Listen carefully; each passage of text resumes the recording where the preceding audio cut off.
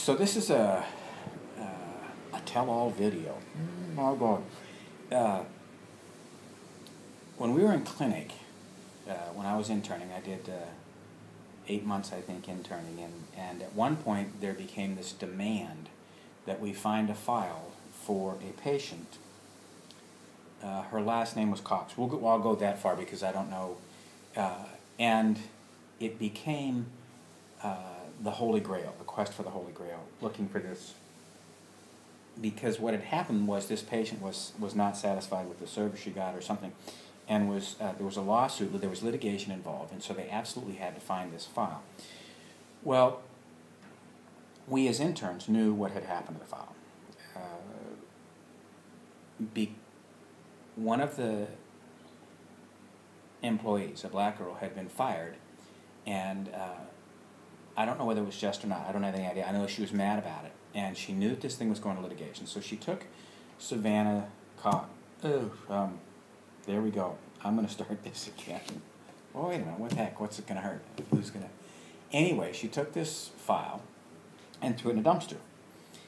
Uh, we all knew that, but they absolutely uh, forced us to keep looking for this file. At one point, uh, several of us had been suspended. Those are other stories for other days.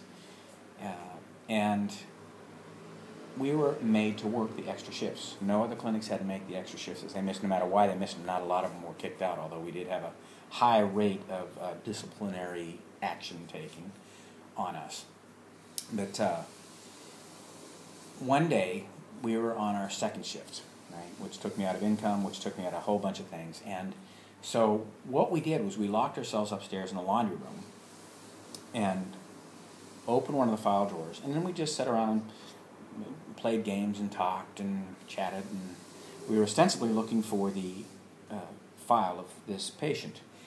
Well, at one, what the rumor that went around to the clinicians was that we were planning to blow up the clinic. But before we left, we were going to absolutely blow up the clinic. Which I mean, you understand how connect the dots, how you get things totally somebody had started that rumor and they absolutely believed in it.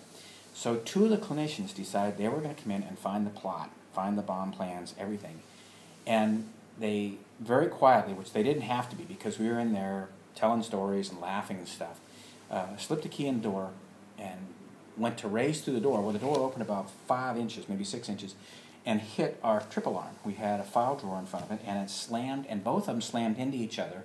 The door slammed shut while everybody uh, jumped up and started looking through file cabinets because we were supposed to be looking for this one file. Pushed the door closed, opened it, and uh, Dr. Kaufman stood up and pointed to the. We were all morning shift people having disciplinary stuff being made to stay for nothing. And we didn't have any patients, so we just, like I said, sat around it.